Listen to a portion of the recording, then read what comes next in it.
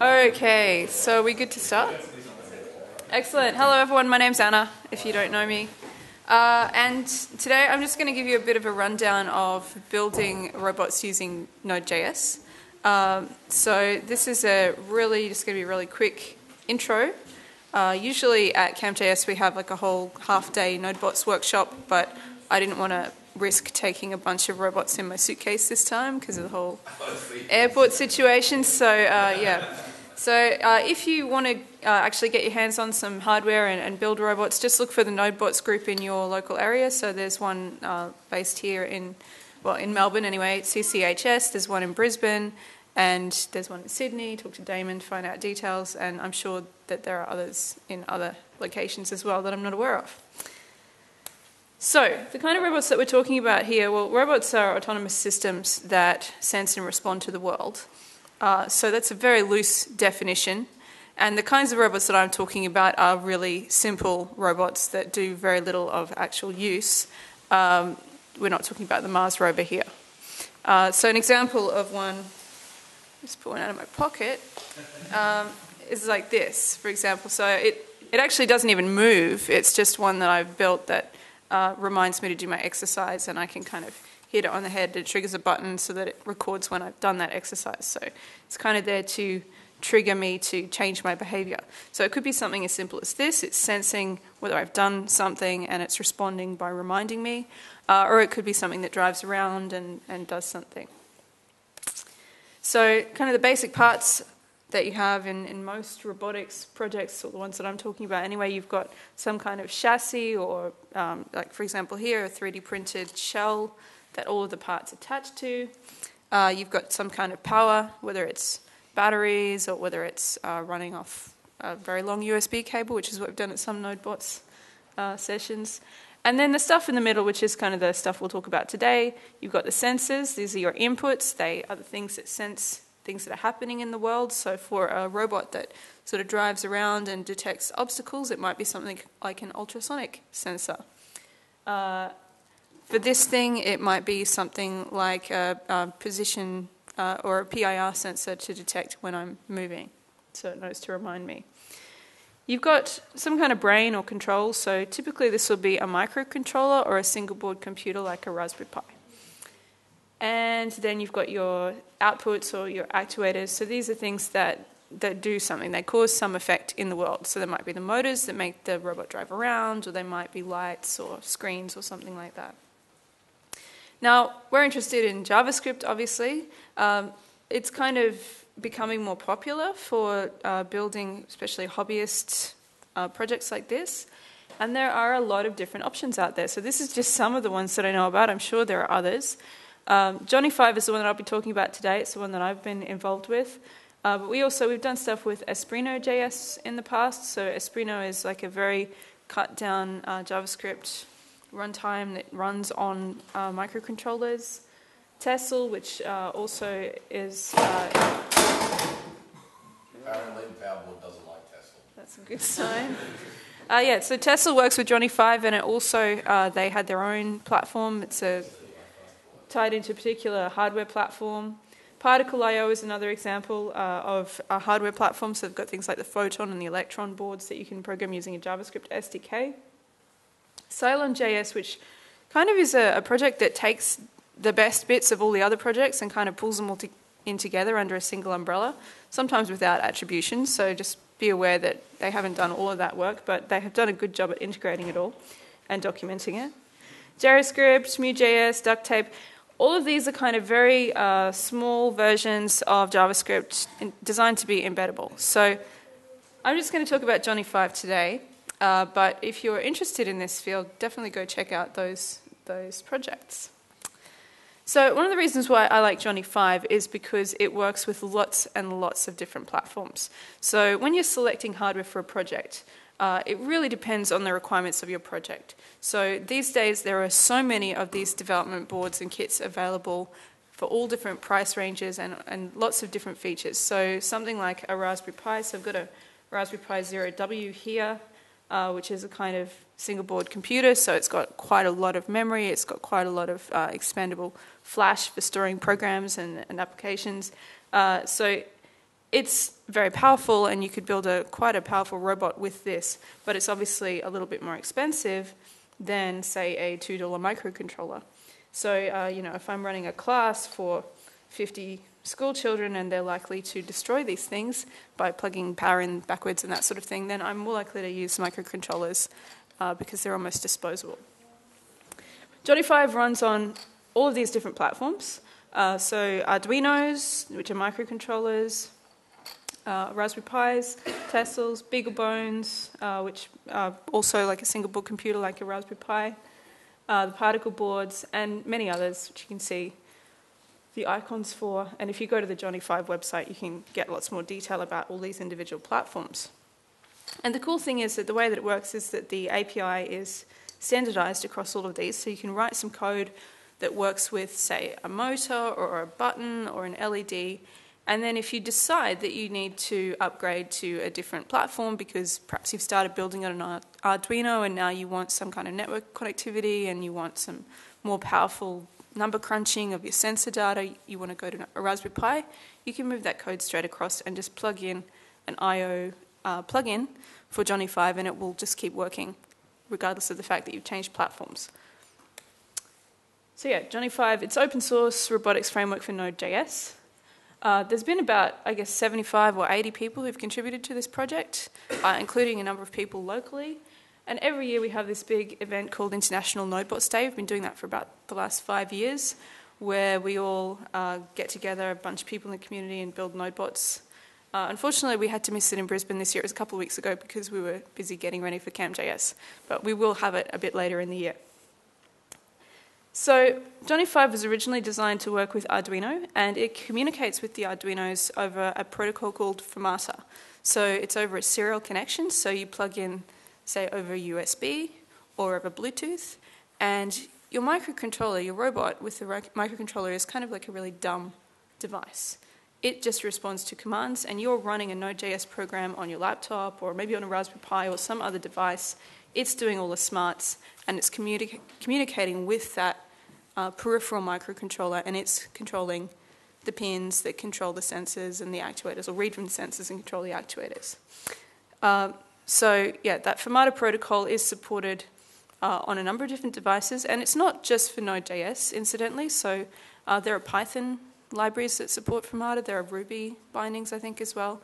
So, if you're into other languages, you can use that same protocol. With Johnny 5, originally it just used Firmata and it was primarily for microcontrollers. But then through this idea of I/O plugins, which pretty much uh, take the Johnny 5 API and implement it using whatever uh, local GPIO capabilities are on other platforms, like Raspberry Pi, you can run it on board. So originally it was designed to have a kind of a primary computer running Node and then your peripheral microcontroller, but now what you can do is run Node on your device, like your Raspberry Pi or BeagleBone, talking directly to its own uh, Johnny 5 instance. So I'm just going to step through how you would get set up using a Raspberry Pi Zero W, because it's uh, Raspberry Pi is pretty popular platform. A lot of people have them sort of hanging around at home. So if you're looking for something cool to do with a Raspberry Pi, this is something that you could do. So uh, Raspberry Pi Zero W is interesting because it doesn't have an Ethernet uh, port. It's just got Wi Fi built in, which means that a lot of the guides that you find online for setting up a Raspberry Pi don't work really well with the Raspberry Pi Zero, and it always just tells you to go and plug into a keyboard and uh, you know a monitor and that. But you don't actually need that to get set up. Because uh, I don't know about you, but I only have a laptop. I don't actually have an external keyboard and a monitor to plug into. So for a long time, I didn't use Raspberry Pi for that reason. But uh, what you do is you install Raspbian, and pretty much the Raspberry Pi Zero uses a micro SD card, which you can see sticking out the top here. So what you do is you plug that into your laptop, and you uh, pretty much copy that Raspbian image onto the SD card. And then instead of having to plug into the Raspberry Pi, boot it up, and configure it, there's a little trick here which is not particularly well documented, but you create a file on the boot partition of your micro SD card, call it wpa-supplicant.conf, and put in your details. So if you were here, you had a Raspberry Pi here, uh, you could just put in the SSID camp.js and the password, more coffee, and it would be on the network here. And then if you want to enable SSH access so that you can just SSH into your Raspberry Pi, simply add a file called SSH, so just use touch or something, you don't, it doesn't need any contents. Put it on that boot partition of your micro SD card, and then once you put that card into your Raspberry Pi and boot it up, it will be on the network and you can connect to it. And you ask, well, how do I know how to connect to it? What's its IP address? The cool thing is that it's running MDN, MDNS, so uh, you could connect using the hostname.locals. So uh, if everybody did this, I guess it would be difficult because they'd all have the same hostname. but I guess you can configure that as well in the, the configuration files on the SD card. So yeah, you just connect like that. And by default, the password is Raspberry. Obviously, please change this as you know as soon as you get your device set up, so that everyone's not able to connect into your device. Um, so if you're using just the default Raspbian distribution on Raspberry Pi, it comes with Node.js installed, as well as a couple of other cool things like Node-RED that we'll talk about in a minute. Uh, if you're running something else, or if you want the absolute latest version and the one that's bundled isn't, isn't what you want, then you can just use your regular Linux, you know, apt-get, so on, to install Node and npm. Uh, and then once you've got that, you've got a little Linux computer, so you can use npm to install Node packages just like you normally would. So the ones that we're using are um, Johnny 5 and Raspberry Pi IO, Raspberry IO. And also, uh, they will install the serial port um, npm package. I've just got that there because it actually it takes a long time to build. So if you're um, doing this sort of, if you're going somewhere, you probably want to install that in advance because it will take a while. All right. So, the Raspberry Pi uh, device, it's a single board computer. I don't know how well you can see this, but that, that bit there is the Raspberry Pi Zero W. And you can see it's got a whole row of pins along the side there. So these are your GPIO pins, your general purpose input output pins. There are 40 of them on the Raspberry Pi Zero W, and they're compatible with uh, the pins that you find on other Raspberry Pi modules, like the Raspberry Pi 3 uh, has the same sort of pin layout. So to the side there, you can see what all the different pins are. So this is where you plug in all your peripheral sensors and actuators and so on. Uh, one of the things that, if you're coming from the world of Arduino, is different here is that it's 3.3 volt logic rather than 5 volt logic. So when you're plugging in your, say if you have a sensor, if it is uh, generating 5 volts, you might want to use something like a voltage divider just to step that amount of voltage down to 3.3 so that you get the full range of values on the Raspberry Pi. If that doesn't make sense to you, don't worry. That's just a detail for people who already use Arduino. And the pins in Johnny 5 are labeled in a bit of a weird way. So uh, you can see on the side there, they've all got numbers. So from the top, you've got pin 1 and then pin 2 all the way down to pin 40 down at the bottom. Now in Johnny 5, the way that they label them is P1 dash and then the pin number. So P1 is corresponding to the header number because some other Raspberry Pis have more than one pin header. Raspberry Pi Zero only has one, so it's always P1 dash and then the pin number. There's a couple of other ways too. You can identify them using the GPIO number directly, uh, but most of the examples you'll find online will use P1 dash and then the number. All right, so getting started. Uh, I'm going to assume that some people here haven't done much electronics, so uh, one of the ways that I like to get started is by using a breadboard, a solderless breadboard, to prototype my circuits. So this uh, yellow thing here is an example of a solderless breadboard. It's a little one, uh, like the one that you see on the side there. You can get bigger ones, like this one here, that have power rails along the side. Uh, you can get you know, even bigger ones than that. And the way that these are designed is on the inside, they've got these little metal kind of clips underneath um, that when you plug your wires into the holes, they just grip onto those wires so that you can connect them all together instead of having to solder wires together. So it makes it very fast to plug your components in and out and change your circuit around.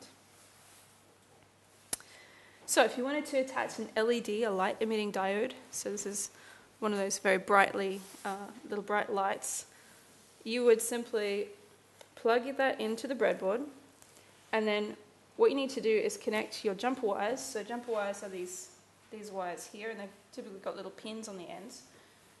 Uh, from the pins on the Raspberry Pi, across to the LED. And you'll notice that on the breadboard there, you can see there's a resistor, uh, which is that little stripy component in the middle there. So resistor introduces some resistance into the circuit. It's really there to limit the current that's going through the LED so that it doesn't burn really brightly and, and eventually burn out. So what we've got here is uh, the pins on the Raspberry Pi. So if we go back and look at that diagram there, we're connecting to GPIO 7 uh, and we're connecting to ground. So that's the fourth one down on the left hand side and the third one down, I think, on the.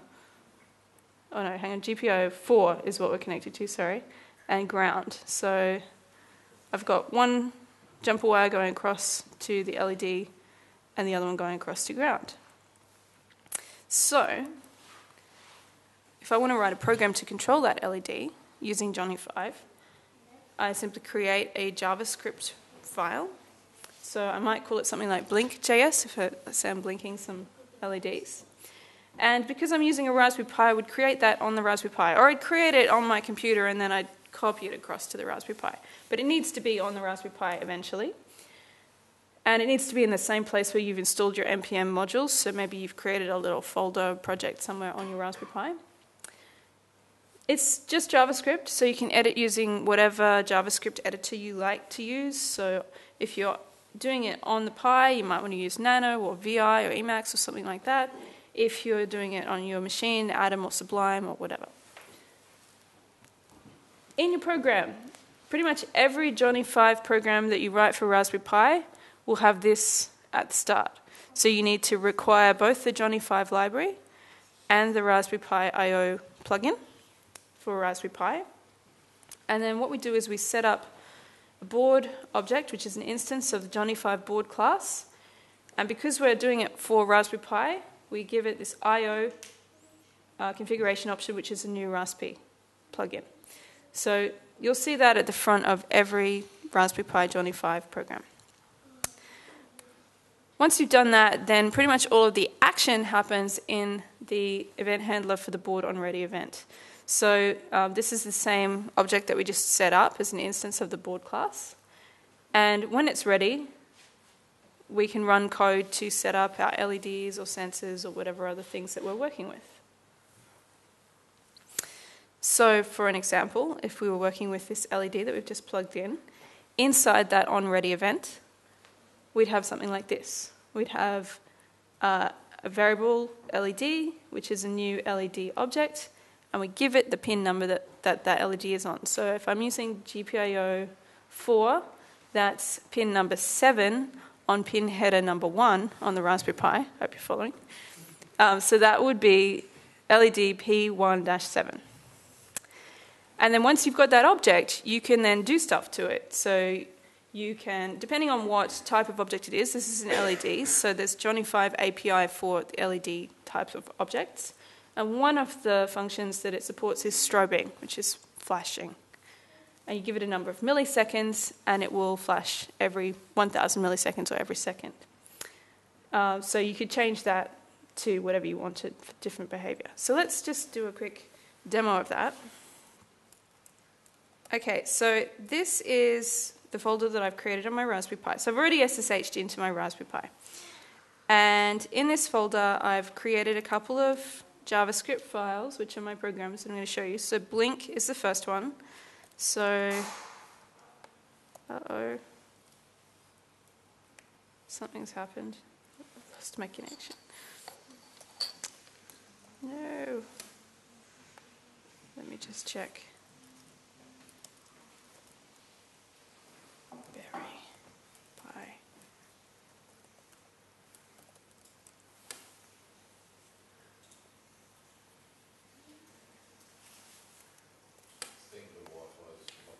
No, that's going to be bad for demos. All right, well, we might come back to that in a minute and see if that works in a couple of minutes. Oh, there we go. Oh, hang on, that might not be my Raspberry Pi. No? Yes? All right, so we've got, uh, well, we've got some network. We've got the program just there. So I'm just going to run that. Oh, come on, please don't drop out. Good. Uh, so the way that you run that is using just Node, like you normally would run a Node program. Let me zoom in a bit more. Again, everyone see that okay? Uh, and then you just go node.blink.js. But because GPIO requires uh, root level privileges, you'd have to add your user to the group, or I'll just do it using sudo. Don't do this at home, that's bad, but yeah. Uh, and then it runs. And uh, I don't know if you can see this, but there is a little LED on here that is blinking right now. The magic of JavaScript. Cool. And you'll see there's a little prompt there.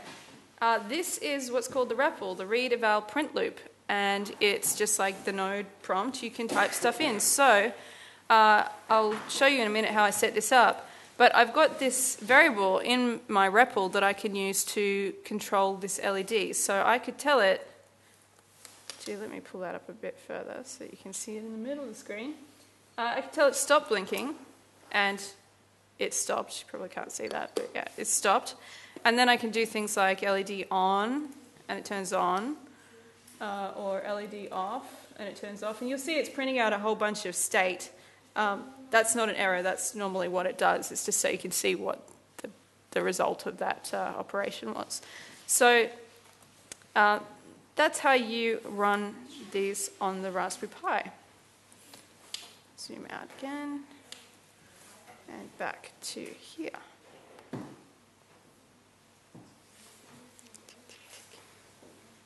Cool. All right, so that was the whole program. Uh, it was the first bit that we saw setting up the libraries, requiring them, the on ready event, and then inside of that, the stuff that we actually want to do with the LEDs, which is setting up and strobing. Now, when you're building a robot, you probably want more than a single LED. You're going to want some sensors and you're going to want some outputs, actuators. And there are lots and lots of different components available that are out there. So um, some examples, you've got environmental sensors that can sense things like the temperature, the humidity, the amount of smoke in the air, the amount of ozone, you, name it. Um, magnetic sensors like Hall effect sensors that you find on things like 3D printers to detect when you get to the end of, a, of an axis. Uh, light sensors like photoresistors that can detect the amount of ambient light, or the ones that you have that you face downwards and you, you blink an LED at the same time as detecting the light bounces back. You can detect whether you're on a black line or a, or a white surface, so you can use line following programs. Um, sound, so microphones that can detect the presence of sound, they can't actually recognize the words or anything. Um, piezos that you can use for detecting vibration or, or the presence of sound things like accelerometers, gyroscopes, tilt switches, buttons, etc. So that's just a few examples of some of the components that you'll typically find if you get sort of a getting started robotics kit or electronics kit. Uh, and same thing with outputs on your robot. You've typically got things like LEDs, LCD screens to display state about what's going on with your robot, um, sound like buzzers, uh, movement, obviously, is pro- probably one of the more important things with the robot. Most people think of a robot as something that moves around. So you've got your motors that drive the wheels or the tracks. Uh, you've got things like solenoids, if you're talking about industrial robots in particular. Uh, and relays for controlling things, uh, controlling power, so you know, switching the lamps on and off in your home, that sort of thing. So that's just a few examples of some different uh, output components that you might find in your, your average getting started to electronics kit. Uh, and one thing that's important to note with these is that there's this idea of digital and analog sensors and, and components. Uh, so, digital, when we say digital, we're talking about digits zero or one, so things that are off or on. Uh, so, in the case of a sensor, it might be something like a button. It's pressed or it's not pressed. It's never kind of half pressed. Uh, but you can also have outputs that are digital. So an LED, for example, you can blink it all the way on, all the way off, and just treat it like it's on or off. Uh, or you can treat it like an analog component. So this is where you've got values in between. So for sensors, this is things where like uh, an analog sensor, like a temperature sensor, where you're getting a reading. And it's typically the raw reading will be something like between 0 and 255 or between 0 and 1023, depending on the number of bits that your sensor uh, supports. Uh, and for outputs, it'll be um, things like fading and LED, the brightness. Yeah, so we looked at the REPL. Uh, and yeah, so button is a really good example of a digital input. So with Johnny 5, so this, when I show you this code, it's all what goes inside the on, the on ready event. So with the button, you've got the button class and you've got event handlers. So on down and on up, and you can do different things. So with your LED, you might want to turn it on when you press the button or turn it off when you press the button. So this is uh, an example of setting up those event handlers to control the behavior. Something like servo motors, common in pretty uh, a lot of robotics projects for like moving things around. Sometimes you can get continuous rotation ones that control wheels. Again, you set it up using a Johnny 5 servo object. So the API supports a lot of different common components, as you can see, on a pin, so pin 35. Uh, you can put it in your REPL if you want to be able to control it interactively. And some of the things that you might want to do, you might want to sweep the servo back and forth. Uh, you might want to stop it, you might want to center it. You can also set the position of the servo. And servos work using pulse width modulation. So it's this idea of having uh, values in between 1 and 0, but on a digital pin rather than on an analog pin. So it's kind of like uh, simulating voltages in between 0 and 5 volts, or 0 and 3.3 volts. Piezo also works with uh, these sort of values in between 1 and 0. So with a piezo, uh, it's pretty much just controlling the tone that you hear from the buzzer. So those really those beeps that you get, they can be high pitched, they can be low pitched. And the same thing with motors. So motors, you actually usually use a, a separate motor controller. So this is a circuit for a Raspberry Pi with a motor controller and two DC motors attached. So these are really common in those budget robotics kits you get from China. Uh, so this would be the code that you'd use to control those two motors.